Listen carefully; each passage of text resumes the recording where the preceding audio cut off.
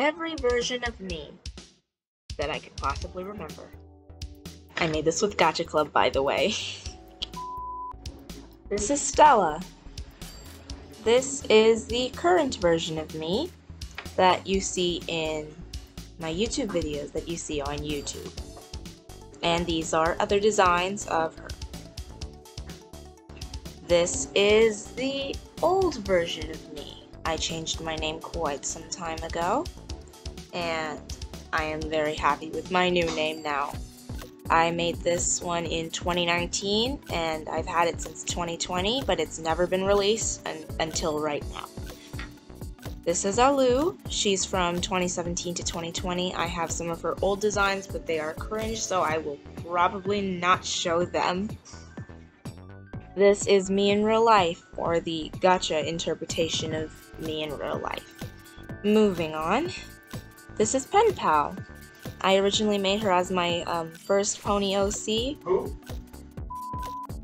She likes to read, she likes to draw, she likes to write. She was supposed to like represent my artistic side, like the side of me that likes to draw, that likes to read. She was supposed to represent that side. So technically, she is still a part of my OCs, and I am still using this OC, but I probably won't make gacha videos because I don't know. I don't have I don't have an answer to that. And this is Sandra. She technically does is not an OC that represents me in any way, but she was a big part of my life and I still have her, which is why I'm putting her in this video. She is a dog, a stuffed pug.